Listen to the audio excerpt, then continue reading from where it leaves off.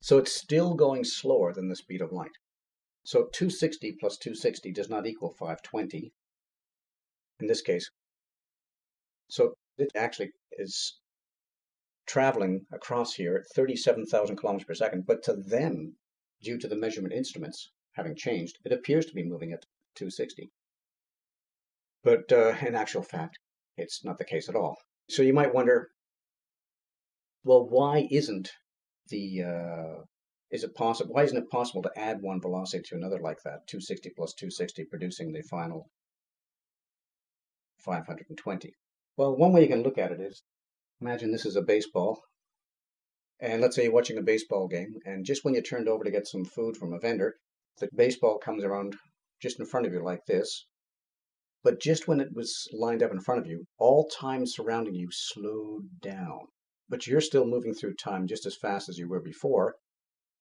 And so you're looking at it, I think it's defying, you know, from your point of view, it's defying gravity. It's just suspended there in the air. But if you look at something in the uh, if you look at something in the background, you notice it is moving, but very slowly, like the minute hand on a clock. And so you try to push it, but it seems to have no effect. So then you put your hands on top of it and lift your feet off the ground, and and it just you have yourself suspended in the air now, and it seems to have no effect upon it. But if again, if you look at the background, you might see that it's slowly going down, but very slowly. But the point is, forces laid upon it have very little effect, but that's because it's in a slow time frame. So if you were trying to, let's say, grab that ball and throw it in the normal manner, from its point of view, you're throwing it at one heck of a speed because it's in a slow time frame. Or if you look at another way, let's say under normal conditions, you can stop the baseball, you know, grab it, catch it and grab it, and it takes one second for you to stop it. But if you stop this one in one second, from its point of view, you've stopped it in almost no time at all. And that takes an enormous amount of energy to do that. So the fact that it's in a slower time frame, it simulates this idea as though its mass has increased, even though its composition hasn't changed at all. If it's going slow enough, the chance of you grabbing it and throwing it like a regular baseball you'd have just as much ease at doing that uh, as you would if you tried to reach for the moon and throw the moon. In other words, if you reduced its time, if it was in a slow enough time frame, that could simulate having the equivalent amount of mass of the entire moon. Or if it's even slower, it could be more, and so forth. So when you're, uh, first of all, when you're whipping across space at 260, you and the gun and so forth, you're already moving through time at half speed. I am going to fire the gun now, and so forth. Right? And so, um, and then as the bullet starts moving faster, let's say this is the shaft of the gun, as the bullet starts moving faster and faster down the shaft due to the exploding gunpowder or whatever they use, the gases are, expanding gases are pushing the bullet. But the faster the bullet goes, the slower it's moving across time. So it's in a slower time frame. Thus, the effectiveness of the gas, expanding gas, is having less and less effect. Now, it's becoming less and less uh, as far as pushing the bullet goes. And so by the time the bullet comes out at the end of the barrel, it's only moving at 37,000 kilometers per second, not 260. Now, if you do a little bit of math, instead of taking lengths and so forth into that calculation of this speed and so forth, you can actually reduce it down to simply using velocities the velocity of the bullet and the velocity of of uh, of the spaceship. So this velocity of the spaceship, we'll call that v, and the velocity of the bullet, we'll call that u. And so what we come up with is an equation u prime plus v over 1 plus u prime v over c squared, and that equals u. So here you have uh, u prime, that's the speed of the bullet as they see it. So you have 260 plus the velocity of the spaceship, which is 260, divided by this gives you the result of 297,000 kilometers per second. So that's your velocity addition equation is basically what that becomes. Or you can reverse this as well to ch change it around, sort of like a transformation. So you could change this to just u. This becomes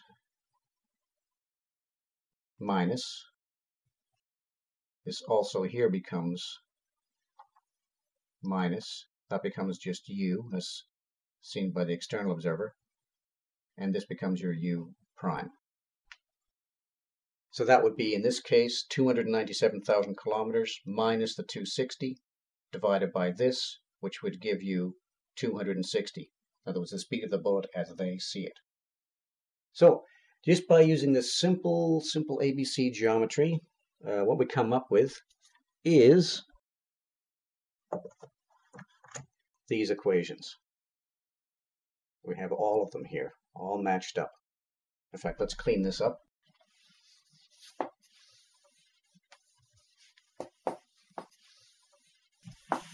And slide this over. So there we have, again, we calculated all of these equations just using common sense to, uh, to produce them.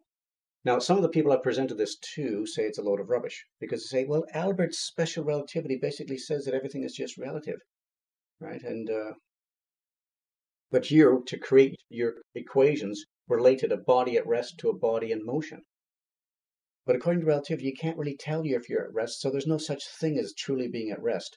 Neither one nor another body, one relating to another, is truly at rest one's in motion relative to the other, this one's in motion relative to this one, and vice versa. You know, there is no at rest.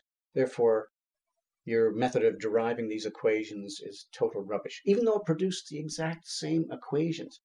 And the method, by the way, that I've derived these equations is so simple that you don't even have to go out and purchase a deriving license. And it's the simplest method possible, and that's why you won't find this in the physics books. You won't find it on the internet except for on my own personal website. It's the simplest way possible, done by simply analyzing motion. But anyway, they weren't too smart to say that it was a load of rubbish because they weren't thinking very clearly, obviously. Because let's say these are two identical spaceships. This one knows exactly what's going on over here based upon these equations, as we've made clear. However, if this guy decided to go in this direction, what happens? This happens. The clocks are no longer synchronized. The clocks have slowed down. The rulers have shrunk. So all of his measurement instruments have been affected. So immediately when you move away from being at rest, that's automatically compensated for. As a result, if he's going, let's say, in this direction, he can know exactly what's going on over here by using the equations, meaning the equations are still 100% valid. Because if he moves away from here, he's not in the same condition as he was when he was at rest, his measurement instruments have also changed accordingly. And therefore, the equations are valid between a moving body and another moving body, which is moving faster, or a stationary body and a moving body. Therefore, since the equations are valid in both cases, you can't tell if one of them is at rest or not. But that obviously doesn't mean that there's no such thing as being at rest, because I've used from being at rest all the way up to the maximum speed possible across uh, space. In other words, looking at the big picture, one extreme and the other, from zero, from one extreme minimum to the maximum, so forth, which ends up producing these equations and making it crystal clear as to why these equations are produced by showing you how measurement instruments are changing. It's that simple. So to say this is total rubbish, and even though it produces the same equations, again, people are just not thinking very clearly um, because basically they're caught up in circular reasoning. They can't extend the mind to the absolute. Because when they say that, well, everything's just relative, therefore, if you know, if you take your view and extend it to the complete, the absolute, the big picture, then you see the absolute foundation which creates these relativistic like circumstances. But if you just accept that everything is relative, then they're not willing to back off or expand your awareness to see the complete picture or the absolute picture such that you can see the cause of what makes things seem to be relative. Anyway, so moving on from here, we'll go one step further to show other things which make it seem like everything is relative based upon these circumstances. And we'll deal with two twin spaceships, this one and this one. And we'll have this one down here being at rest and the other one moving across at our usual 260 and show you some fascinating things of how it makes it seem like everything is just relative even more. Okay, Moving on.